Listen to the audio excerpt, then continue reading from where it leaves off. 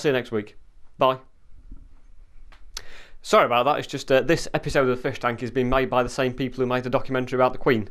So uh, there might be a few things that are in a mixed up order, perhaps. Don't know. We'll have to wait and see. I've not, uh, as I say, I'm not editing it this week.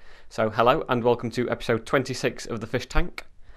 And I've now been going for six months, so I'm rather similar to Sting, shall we say. And uh, it's the first episode of the Fish Tank that I'm actually doing while I'm stood up, so I can, I can like sort of you know, walk around over here somewhere or like that, or go pretend to go downstairs. Just a bit of fun. I'm, I'm only joking. I'm not actually going anywhere. So uh, a few facts about the fish tank. Uh, in 26 weeks, I've had my hair cut once. Interesting little fact. And I've never worn the same top on two occasions. Every week I've worn a different top. So there you go. So it's time to get absolutely cracking with the show, and it's time for apology of the week, as ever at this uh, this point of the show. And this week I'd like to apologise to the people of Newcastle. After last week, I said that their place was filled with litter, uh, pollution, waste, fag ends, and rubbish. So uh, sorry about that because I left out that you have ridiculously high rates of crime and, and uh, you're a place full of quite dodgy people. I, I only have to apologise because someone actually rang me up from Newcastle and said uh, something along the lines of, I like man, I think it's really unfair, you know what I'm saying? You shouldn't be doing that, you know, man. Or something along those lines, I can't, can't really tell what I was saying. I, th- I, th- I, think he was complaining, but I'm not, not fully sure. Right, so uh, what's been happening this week? Well, hmm, it's a bit of a tricky one, isn't it? Let's face it, because Harry Potter mania has swept through the country. At Morrison's Well Work, we sold the book for four ninety nine and we'd totally sold sold sold out by Saturday evening. So uh, I'm I'm surprised at how fast they sold, to be honest. But I suppose it is meant to be the fastest selling book in the in history ever, so I shouldn't really be that surprised. But what I can't work out about Harry Potter is why, if he wears glasses, you know, is a magician, can't he just cure whatever problem he's got with his eyesight? Can't can't be beyond the possibilities of uh, magic. You would you'd have thought.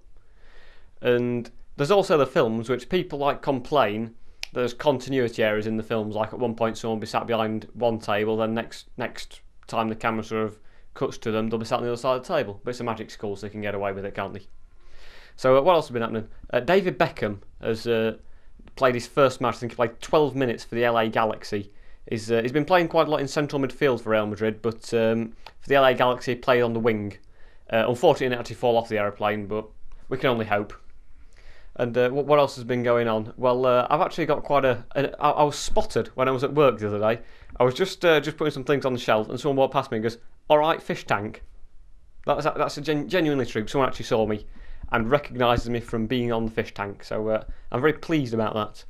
And also yesterday, uh, one one sort of like new lass at our work, uh, a pot of paint fell on her and absolutely covered her like knee down, covered her shoes and everything, and she was just sort of totally covered in paint which was a bit harsh. She was a bit upset. I told her to stop getting so emotional. But that didn't go down too well, unsurprisingly. But there you go. So uh, anyway, it's time for the celebometer this week. And which celebrities can we have on the show? Um, well, I'm not sure really. Anyone. Uh, basically, I, but I would like to have a victim of the floods because uh, there's been floods in the south of England this time to come up and compare north versus south. You have a bit of a competition what what it's been like flooded because there's been terrible floods. Reading is uh, is just a total mess, and it's just an horrendous place at the moment. Actually, it's not been hit by the floods. It's just like that anyway. So uh, there you go. So if you've been affected by the floods, feel free to uh, you know, get in touch. See if you can get up here. Might even give you a bit of food and a bit of water because I understand you've not got much down there, except from the floods, obviously. And uh, you can appear on the show. So it's time for headline of the week and uh, this headline is from the Times, I think, but I'm not fully sure. And it says, "Grandmother of eight gets hole in one."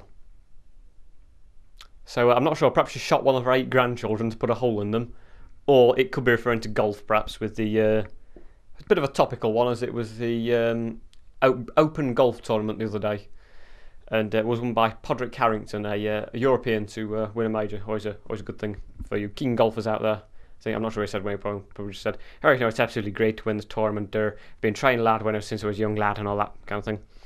And uh, this quote of the week now comes from Murray Walker, and he says, "Cars are going off the track, right, left, and centre." So quite our car centrally goes off the track. Perhaps it's I don't know flown off the track, sort of Harry Potter like, perhaps. I don't know. I'm not sure. Not sure I manages that. That's Murray Walker there. He's a bald man. There you go.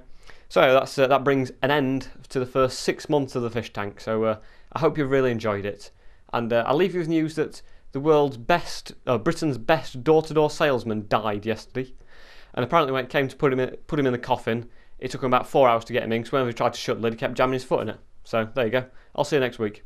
Bye.